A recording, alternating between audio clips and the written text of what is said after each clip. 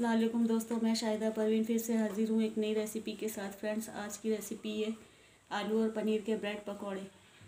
तो फ्रेंड्स अक्सर ऐसा होता है कि हम सुबह की जल्दी में नाश्ता नहीं करते हैं और या तो अपने ऑफ़िस चले जाते हैं या घर में भी हम बस काम ही करते रहते हैं। तो ये फ्रेंड्स ये बहुत ही शॉर्ट तरीके का नाश, नाश्ता है। इसे हम जल्दी से बना के सुबह के नाश्ते में या शाम की चाय के साथ भी इसका मज़ा ले सकते हैं। तो आइए देखते हैं कि ये ब्रेड पकौड़े, पनीर और आलू के किस तरह से बनते हैं। यहाँ पे आलू को छील के हम अच्छे से मैश कर लेंगे। ये देखिए, मैंने चम्मच से आलू को अच्छे से मैश कर लिया आप इसे मैशर से भी मैश कर सकते हैं। अब मैंने यहाँ पर धनिया, मिर्च और चाट मसाला लिया है।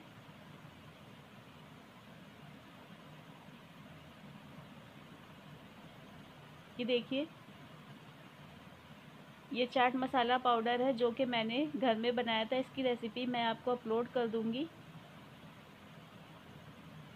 यहाँ पे मैंने साबुत ज़ीरा लिया है, एक छोटा चम्मच। इससे काफ़ी अच्छा फ्लेवर ब्रेड पकौड़े का आता है। यहाँ पर मैंने तीन तीन से चार हरी मिर्च ली हैं। आप मिर्च अपने टेस्ट के अकॉर्डिंग डाल सकते हैं।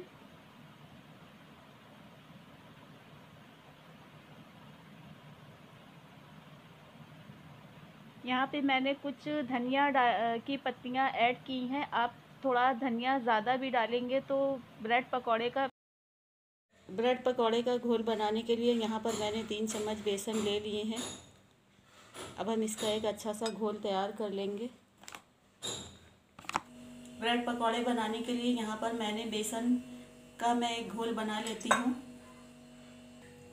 इसमें हम थोड़ा थोड़ा सा पानी डालेंगे। बिल्कुल से ज़्यादा पानी नहीं डालेंगे कि बहुत ज़्यादा गीला हो जाए। देखिए हम इस तरह से इसे फेंट लेंगे। थोड़ा और हम पानी ऐड कर रहे हैं। बेसन का खोल फ्रेंड्स तैयार हो चुका है। अब हम इसमें कुछ मसाले ऐड करेंगे। यहाँ पर मैंने एक छोटा चम्मच लाल मिर्च पाउडर लिया है, आप देख सकते हैं।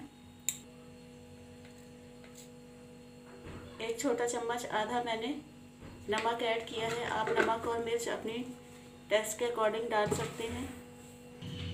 आधा चम्मच हमने यहाँ पर चाट मसाला पाउडर ऐड किया है। एक पिंच हम इसमें फ़ूड कलर ऐड कर रहे हैं, ताकि ब्रेड पकौड़े का कलर अच्छा सा आ जाए। अगर आपके पास फ़ूड कलर नहीं है तो आप बिना फ़ूड कलर के भी इसे बना सकते हैं। अब हम ये सारी चीज़ें अच्छे से मिक्स कर लेंगे, आप देख सकते हैं। इस तरह से इसे सारा बेसन मिक्स कर लेंगे। तो फ्रेंड्स यहाँ पर हमारा बेसन का घोल अच्छे से तैयार हो चुका है, आप देख सकते हैं। फ्रेंड्स जो आलू की स्टफिंग हमने पहले बना के रखी थी, आइए उसमें पनीर ऐड करके उसे ब्रेड में भर लेते हैं। इस बेसन को हम एक साइड कर देते हैं। ब्रेड पीस के स्लाइस के मैं यहाँ पर थोड़े से पीसेस बना लेती हूँ।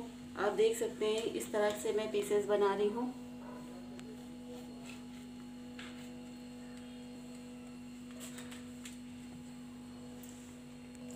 यहाँ पर हमने पनीर का एक पीस ले लिया है फ्रेंड्स और इसे हम बीच से पतला सा एक स्लाइस काट लेते हैं और इसे ताकि हम पनीर के, ताकि हम ब्रेड के बीच में इसे रख सकें। इस तरह से पीस मैंने पनीर का काट लिया है। आप देख सकते हैं, इसे हम ब्रेड के बीच में रख देंगे और उसमें आलू की स्टफिंग लगा के। इसी तरह से हम पनीर के और भी पीसेस कर लेंगे। देखिए, इस तरह से मैंने पीसेस कर लिए हैं पनीर के। अब इस तरह से हम ब्रेड का पीस लेके इसमें ये आलू की स्टफिंग इस तरह से भर देंगे, आप देख सकते हैं ऐसे। और बीच में हम इस तरह से पनीर का पीस रख देंगे। और ब्रेड का एक और दूसरा पीस लेके इसे ऊपर से ऐसे कोट कर देंगे। और फ्रेंड्स, इसी तरह से हम सारे पीसेस बना लेंगे। फ्रेंड्स, मैंने यहाँ पर एक कढ़ाई गैस पे रख दी है और उसका गैस का फ्लेम ऑन कर दिया उसे हाई पे रखा है। अब इस कढ़ाई में मैं रिफाइंड ऐड कर रही हूँ। आप चाहें तो इसे सरसों के तेल में भी तल सकते हैं। तेल को हम इस तरह से फ्रेंड्स चेक कर लेते हैं कि तेल हमारा हीट हो गया। तेल हमारा अच्छे से हीट हो गया है। आइए हम इसे बनाते हैं। ये ब्रेड का पीसेस मैंने ले लिया है। उसे बेसन में इस तरह से डिप कर लिया है।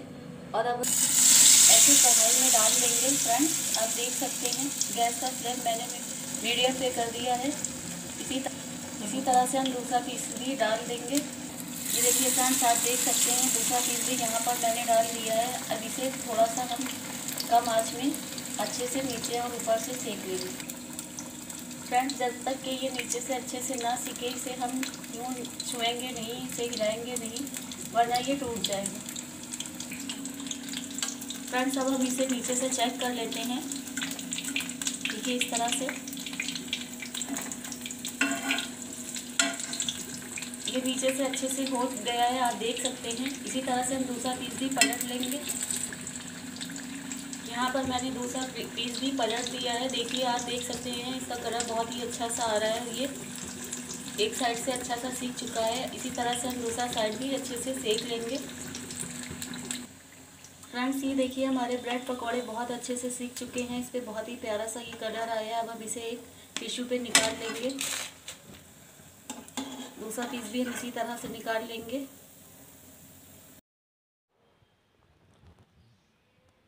तो फ्रेंड्स हमारे पनीर और आलू के ये ब्रेड पकौड़े बन के रेडी हैं।